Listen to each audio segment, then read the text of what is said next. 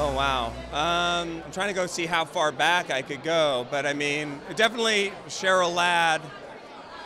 Farrah Fawcett, Cheryl Ladd was right when I was hitting that age where I cared about those things. Um, and Jaclyn Smith, basically all Charlie's Angels. Every, even Kate Jackson, actually, more than any of them.